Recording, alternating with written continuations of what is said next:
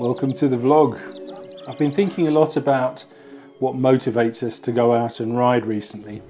And unfortunately on a day like today when it's cold and wet and windy, the last thing you want to do is leave the house and go and actually ride on the road. In fact, I think we've had a, a yet another storm warning. I've kind of lost track of how many and what they're called. It's Storm Boris or Storm Richie or something like that anyway.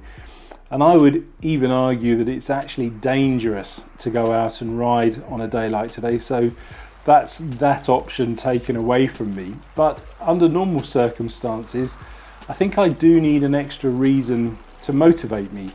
And one of the reasons that I've had recently is what I call the 24 days of cycling. And this is something I started last year. It was the 23 days of cycling because it was 2023.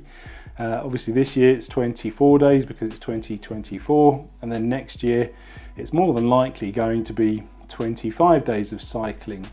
And the, the rules of the challenge are very simple. It's to ride my bike either indoors on a turbo trainer or a spin bike or something like that, or actually out on the road for at least 20 minutes every single day for the last 24 days of January. And I started on the 8th of January and I finished on the 31st of January. In fact, I haven't actually finished. I did, in fact, start on the 1st of January and I've been cycling every single day for at least 20 minutes ever since. So I think I've got about 40 minutes, uh, 40 days of cycling in the bag already. And to help me do this, uh, I've got the help of some subscribers of the channel and some friends of mine and they're all doing the challenge with me. So um, I've expanded the rules a little bit. So it's not just cycling, it's also walking for 20 minutes a day or running for 20 minutes a day.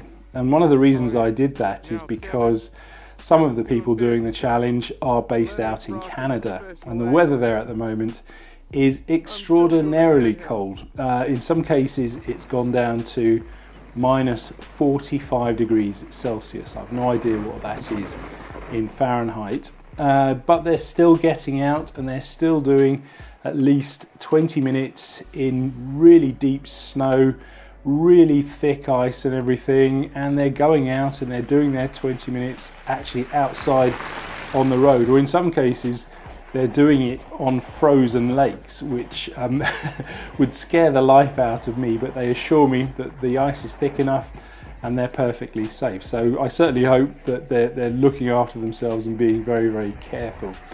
Um, it's really humbling to see them do that because when I look at the weather here and it's just wet and cold and windy, um, it kind of puts things into perspective for me. Now, another way that we sort of motivate each other is that we have a, a WhatsApp group between us. So we're able to chat to each other, we're able to share photos and videos of our rides, and it's just become a really nice, friendly community. We, we motivate each other, we comment on each other's rides, uh, and we just chat about stuff not necessarily about cycling. It's just a great way to, to motivate ourselves to get out and do the challenge. And in fact, uh, it's been so motivating that um, because some of the people have been unable to do all of the 24 days, we've we've added extra days uh, for them to to catch up and do 24 days within you know the, the the the period of the challenge. So that's really really good. Another reason why I want to motivate myself is, of course, because of my ride coming up in three weeks' time when I fly off to South Africa to ride the Cape Town Cycle Tour. This is an absolute bucket list ride for me, and I really do want to be fit to be able to do it. The ride itself is 110 kilometers with 1600 meters of climbing, so it's tough enough, but it's not impossible. Um, but particularly after Christmas, I, I you know, when, when my fitness is completely gone due to all of the, the Christmas excesses and everything, um, it didn't give me a lot of time to get fit. So I've been really pushing at it and trying to uh, chip away at the, the, the, the, the slob inside and trying to get myself fit to be able to actually do this ride. I don't want to just complete it, I want to be able to ride it and enjoy it because it's just a one-off, once in a lifetime ride for me. So it's something I've always wanted to do and I'm going to make the absolute most of it. So I'm really, really looking forward to it.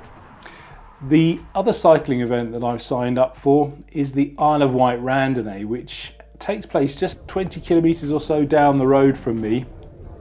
And it's a ride around the Isle of Wight. And it's a very similar ride profile to the Cape Town ride. Again, it's 110 kilometres with 1600 meters of climbing. I've ridden it many times uh, and that begin that that event is on the 5th of May this year. So um, the weather then is very hit and miss indeed. I've ridden it in 30 degree sunshine and I've ridden it in 8 degrees wet and windy. It was pretty miserable too. So I've no idea what the weather's going to be. I've signed up for it and uh, again, I, I want to put in one of the best times that I've ever done on that ride. Uh, with the, uh, the, the training that I've done to do, to get me to South Africa, that should stand me in good stead. Plus, it's two months after I come back from South Africa, so I've got a, quite a bit more time to be able to improve my fitness further. So between coming back from South Africa and doing the uh, the Isle of Wight Randonnée, I do have another cycling event. So I'm going to Mallorca in uh, late April with some friends of mine. And yep, we're just going to go down there and we're going to do all of the classic rides. So the ride out to Cap Formentor, the ride up to Lluc and then down the other side, and we'll probably do that in reverse. And I may even take on Sa Calobra again. Uh, when I went to Mallorca last year, I did Sa Calobra for the very first time, and that's after cycling in Mallorca for 20 years or so.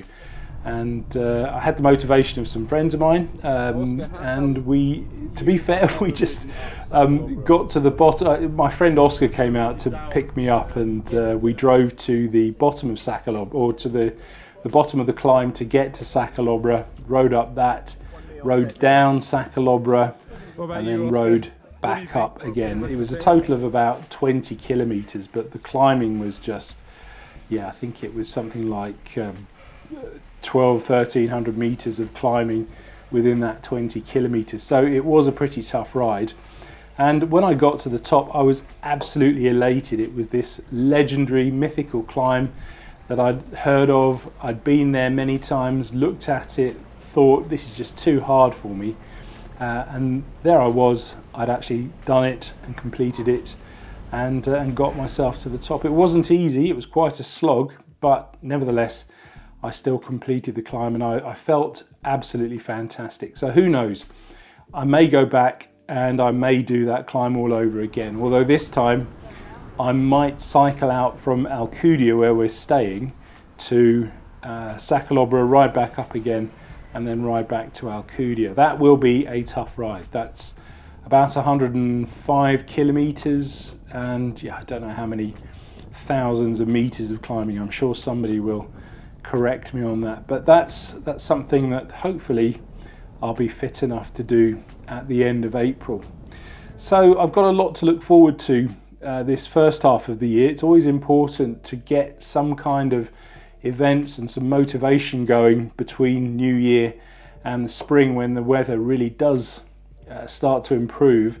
And I'm hoping that with this foundation, I'm going to have one of my best years of cycling in, in a very, very long time. So hopefully you can join me on that. Hopefully your summer will go equally as well. And if not, then yeah, try and find a reason to motivate yourself to get out on the bike, to do some training, and just get yourself fit and strong enough to, to enjoy your summer.